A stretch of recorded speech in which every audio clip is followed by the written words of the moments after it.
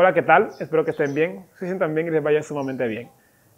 Hoy quiero que analicemos eh, una, una, canción nueva de, de Philip Prince Mecánico.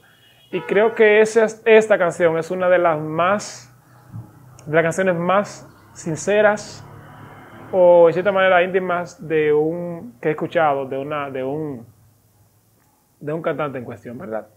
Vamos a hacer un análisis de algunos aspectos de esta canción, no de todos, porque la canción en sí mismo tiene un, tiene un ciertos elementos que son, son repetitivos, porque la intención es la misma. A pesar de ser tentado, cumplí con mi llamado.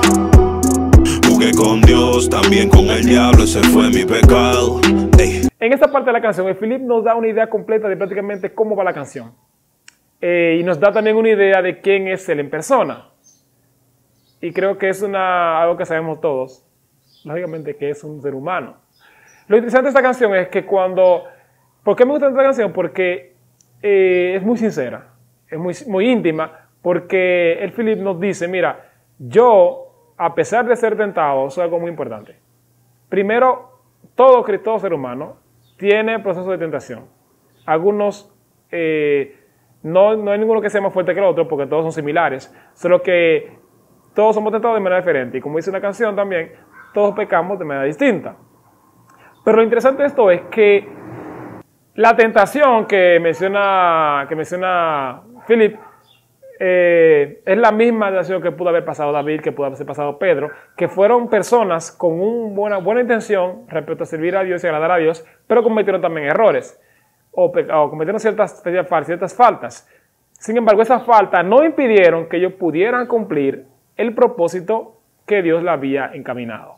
Entonces, a veces la gente queremos vender un liderazgo o queremos vender, queremos o pretendemos a veces creer que todos eh, los líderes que seguimos, los cantores que seguimos, son perfectos y no lo son. Cada uno de ellos tiene sus batallas igual que nosotros. El error de muchos es que a veces se quieren mostrar perfectos o quieren mostrar un cristianismo perfecto que no existe.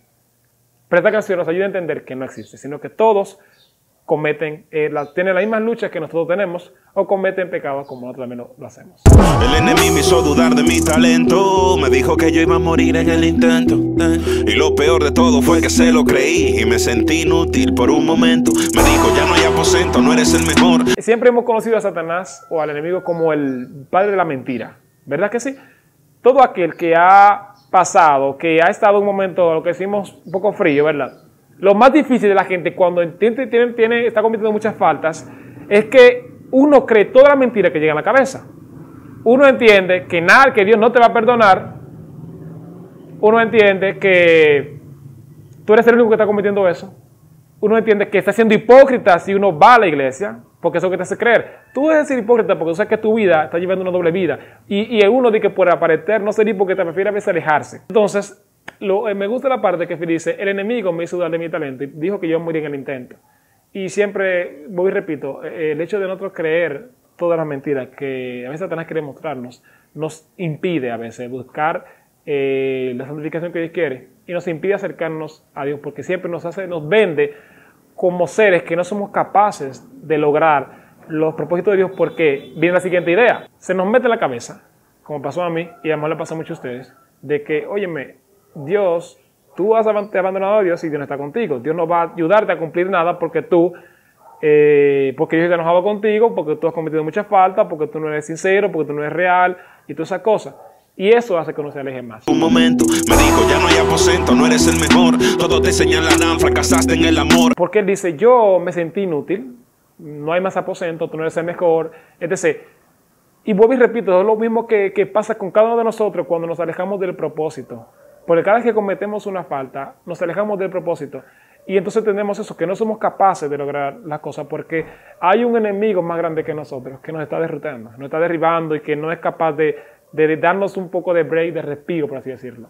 Tengo una reputación y un público que está oyendo. Dios mío, revélate que no te estoy sintiendo. Lo más difícil para todo aquel que dirige un ministerio es saber que todas las cosas, su vida espiritual y todo, es notado entre sus fanáticos o por lo menos tiene una carga por el hecho de, que, de que se hace X cosa, de que se toma una decisión de tal manera, todo eso no afecta solamente su vida, sino que afecta a cada persona que lo sigue, sus fanáticos, eh, sus seguidores, vaga redundancia.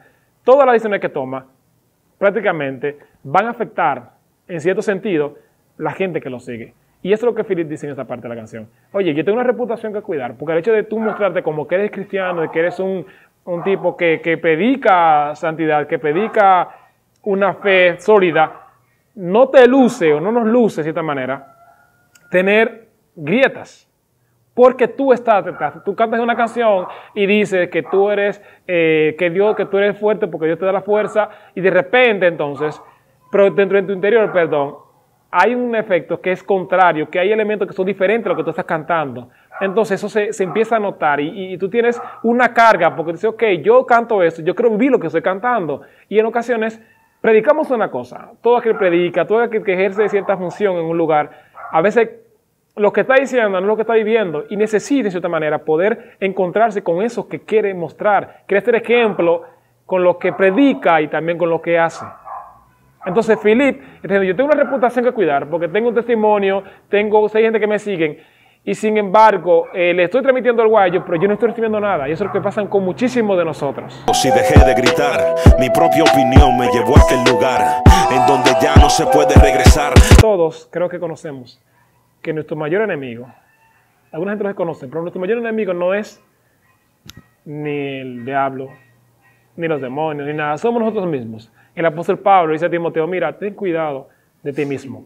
Felipe dice que su opinión fue que lo llevó a ese destino. A veces, y me pasó en una ocasión a mí mismo, en la cual el hecho de yo querer justificar ciertas acciones mías me fueron llevando a lugares que no debía ir. Y yo sabía, de cierta manera, que estaba errado, pero por el hecho de creer que tenía razón, tomé decisiones que no debía. Y, y eso, es importante que tenemos que, y eso es importante que lo tengamos claro. Cuando nosotros tomamos decisiones basadas en nuestro propio concepto, no en los conceptos de Dios, no en los conceptos de o las realidades que Dios quiere que tengamos claras, esas decisiones nos llevan a caminos errados. Y nosotros, por el hecho de que de, saber que tenemos razón, o el hecho de que no queremos bajar el pulso, no queremos reconocer que hemos tomado una mala decisión, seguimos caminando sobre ese camino que hemos puesto. Y las cosas empiezan a irnos mal y como que seguimos caminando y la cosa empieza a irnos mal y seguimos caminando. Lo mismo que pasó con el hijo pródigo que toma decisión tras decisión, tras decisión, tras decisión y sabe en cierto momento que está mal y sigue poniéndola una tras otra hasta que, hasta que termina en un estado eh, irreconocible, por así decirlo. Esto fue todo por hoy.